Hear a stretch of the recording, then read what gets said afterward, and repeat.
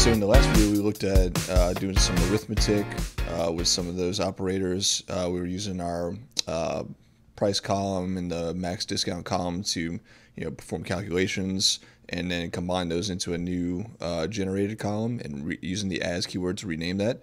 Now in this video, let's take a look at some of the built-in string functions that we can use uh, to change um, the data, like uh, some of the product names when we uh, do queries and get data back from uh, the products table. So real quick, if we pop over to the Postgres documentation, there's a section here for string functions and operators. If you scroll down into this first uh, table, you can see some. Uh, so this is uh, one way to concatenate strings together. So we'll look at that. There's also a concat function, which is down in this other table here, concat. So we'll use both uh, real quick um, to join together uh, some information here. So let's pop back to TablePlus here. And just so we can see um, what our data is, we can open up our products table here and look at it.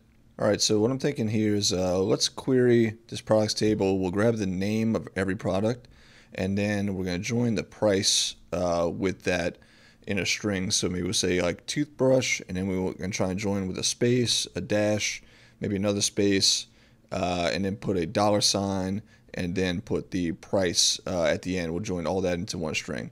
So if we pop back over to our SQL editor here, we can give that a go. Uh, we'll do first with the uh, the double pipe operator to do the concatenation uh, using this one here. So back in TablePlus, I'm going to say select, and we'll do name, and then we want to do the pipe right here, okay? And then I said we want to join, uh, well, let's first just write uh, the name and price. These are the two things we want to join. Okay, let's do this from products. Okay, and let's just run this query and see what we get. So you see that uh, Postgres uh, ran our query, and this is the result that it turned to us. So uh, it didn't know what to call this column, so it did the you know question column question uh, question mark column question mark label for it and then it just smushed the two values together here. So this is not what we want, um, but it gives us a, a, good first look at how this operator works. So what we want to do is we want to join these two things together, but we want to put some spacing in between there and some formatting and so forth. So what we could do is we can say, we can do another uh, double pipe operator here. And I'm going to put a little space there. And then in quotes, we can say, okay, after the name of the product is, is uh, in a string or in our string. We want to add a space after that. Then let's maybe put a dash with another space and then a dollar sign. And we want to use this as our you know uh, middle string to then join the other two uh, uh, column information or sets of column column information together with. So if we do this and we run this query, expand this a little bit, you see that we get a nice uh, listing here of the uh, product name and its price. And in fact, why don't we rename this column to listing? So we can say as listing. And then if we run this, we see that now we've given that column a name and then it still has all of that data in it formatted nicely. So that's uh, one way we can concatenate strings uh, using this double pipe operator. Uh, the other option is if we get rid of the double pipes, we'll do name, comma, and then this string here, our separator I'll call it, and then we'll get rid of that second pipe, add a comma here. And what we can do is we can come in front of this and say concat and then wrap this whole thing, uh, not the, oops, not the as portion, uh, but just this stuff here. We can write, uh, put that inside parentheses, and if we run this, we see that we get the exact same result. So this is another way that you can concatenate a bunch of strings together um, and return a new values uh, from your products table. All right, so look at let's look at some other ones. Um, so one other one that we can do is called the uh, one other function is upper. So we see upper there, and then we can uh, open up a set of parentheses and pass name in here, for example.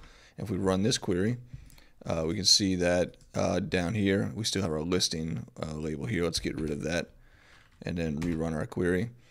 So uh, it just uses upper as the label for that column, that generated column here, or that calculated column or computed column and it prints out the names of all the products uh, in all caps.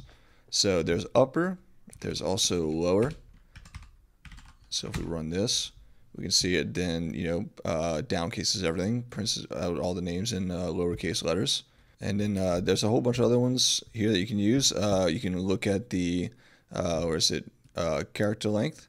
So we can get the length of the um, each name. So if we do, get rid of this, we'll say char length. Okay, we run that. We can see that uh, it prints out how many characters are in each name. And let's do a little check here. Let's grab the name first and then do the, the length. And we go and see, so toothbrush, one, two, three, four, five, six, seven, eight, nine, ten. There we go. So there are a whole bunch of built-in uh, operators and functions in here uh, that you can use in strings. Um, we're not going to look at them all right now, but the list is here. And, you know, if you're using MySQL, it will have an appropriate list of uh, operators and functions that it supports as well. Alright, so before we wrap up this video, I'm going to give you a little challenge here uh, to test uh, uh, your understanding of using these uh, string functions. So uh, what I want to see happen here is uh, when we first started, we made the, the list of the string that we joined together or we concatenated that was like the product name with a space and a dash, another space, a dollar sign, and then the price.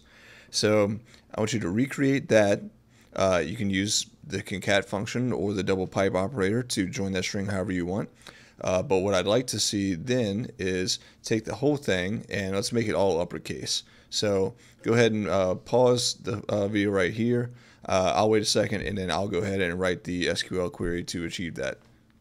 All right, so let's go ahead and get started. So to start, I'm just going to say select and then let's see, I want to, let's just get the uh, the string uh, concatenation going that we had before. So I'll say concat, oops, concat, let's do all caps here, concat, and then our parentheses, and we want to do the name, and then we want that uh, separator, which is a space, a dash, another space, and then a dollar sign, and then we want the price.